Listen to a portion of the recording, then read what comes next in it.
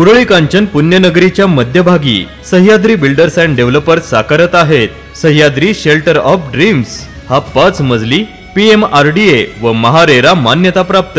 One B H K आणि two B H K. Sahyadri shelter of dreams या प्रोजेक्टमध्ये असणार आहे. वन बी एच के सहाशे एकावन्न स्क्वेअर फूट.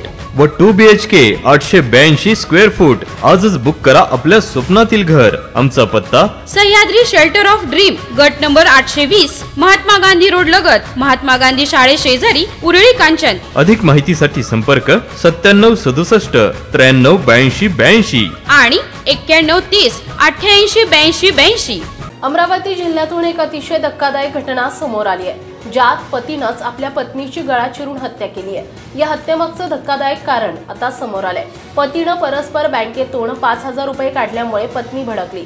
यानंतर पत्नीनं पतीच्या मित्रासमोरच पतीला मारहाण करून अपमानित केलं. त्यामुळे पतीच्या भावना दुखवल्या आणि त्यानं याचा भयंकर बदला घेतला. पत्नीनं केलेल्या अपमानाचा बदला घेण्यासाठी पतीनं पत्नीचा गळा चिरून हत्या केल्याचे धक्कादायक प्रकार समोर आलाय. ही घटना अमरावती जिल्ह्यातील वरुड तालुक्यातील एकलविहीर येथे घडली आहे. आरोपी शालिग्राम ध्रुवे हा गावातील गुरे चरायचं काम करतो त्यातून मिळणारे सगळे पैसे तो त्याची पत्नी नीला ध्रुवे हिच्याकडे द्यायचा. सगळे पैसे नेहमी तिच्याकडेच असायचे.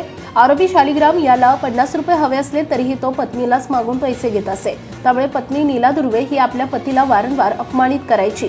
याच कारणामुळे शालिग्रामनं परस्पर बँकेतून पाच हजार रुपये काढले. जेव्हा ही बाब नीला दुर्वे हिला कळाली तेव्हा ती भडकली.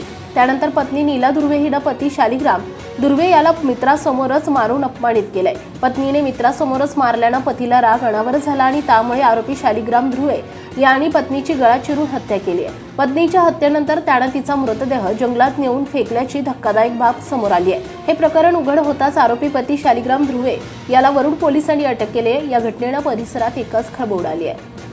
महाराष्ट्रातील ताज्या आणि महत्त्वपूर्ण बातम्या पाहण्यासाठी आजच आमच्या रॉयल मीडिया न्यूज चॅनलला सबस्क्राईब करा आणि बेल आयकॉन प्रेस करा.